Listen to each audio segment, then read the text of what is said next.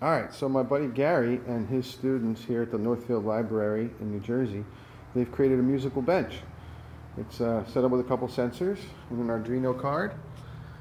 Here, And that's an MP3 shield on top of the Arduino.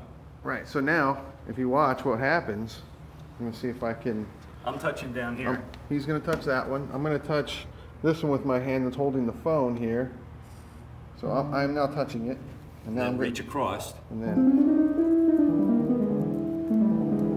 So it measures the, measures the resistance, and then each level of that resistance, that number, is associated with a note, a musical note.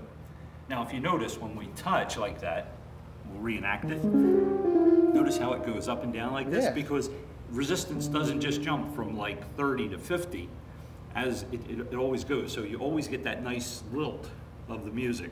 And then based about how uh, moist your hand is, or cold or dry, different people have their, like we're, we're making the low notes. There's some people that come in and all you hear is, it's a really high register. As a matter of fact, let me just try something.